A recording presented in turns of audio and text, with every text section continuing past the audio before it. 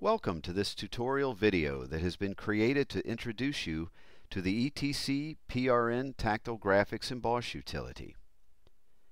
This handy little utility has been created to allow you to produce PRN files using your enabling technologies Phoenix Embosser. PRN files are a standard file format that's been in use for some years for producing high-resolution tactile graphic images. When you first launch this utility, a pop-up window appears asking, do you have a Phoenix? If you respond no, the emboss button in the utility will be grayed out. If you do have a Phoenix, simply click yes, and this will release all the functionality of the utility. Now across the top, you notice three radio buttons. Files, which is effectively an open button. Emboss, which once you've opened an image will allow you to emboss it on your Phoenix embosser. And in the upper right corner, the About button. About contains not only software or firmware revision levels, but contact information, a small amount of help data, and a shortcut list to show you what the keyboard shortcuts are for the utility. I'm going to close this now. And let's get started. Simply press the Files button. A Windows Standard dialog box will open that will allow you to navigate to your files. In this case, you can see in our documents we have a folder called PRN Samples.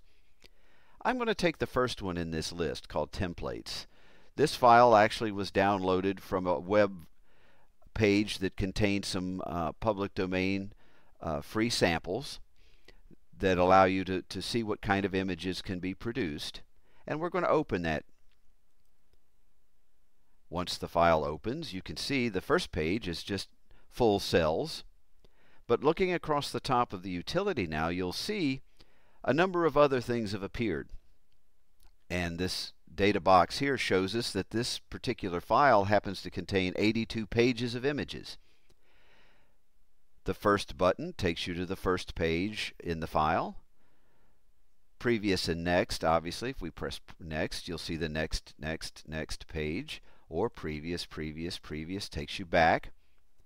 Last will take you to the final image in the file. In this case, it's page 82. Or another way to do this is simply drop down this Go To Page box and scroll to the particular page you want to, access. In this case, let's try, say, page 55. Let's see what we have there.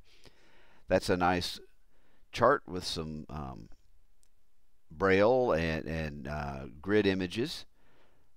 And once you've selected the uh, page you wish to emboss, it's very simple.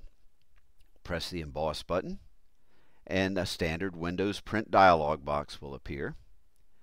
Make sure you drop down and select your Phoenix embosser from the list, as I've done here. Then you have a choice. The standard print statistics here uh, are all functional. If you wanted to emboss all 82 pages, you would simply select all. Or you can select pages and then set a range, for example, say pages 10 to 15. Or if you just want to emboss the page you're looking at currently, just hit selection. Once you've hit selection and you, have made your choice of which pages, make sure you've turned on your Phoenix Braille Embosser. Set top of form on the paper, and all you do is then hit OK. And the page selections you made will then be sent to the embosser. Once embossing is concluded and the embosser stops working, go over and advance the paper out, tear it off, and reset the top of form, and you've created your PRN embossed tactile graphic.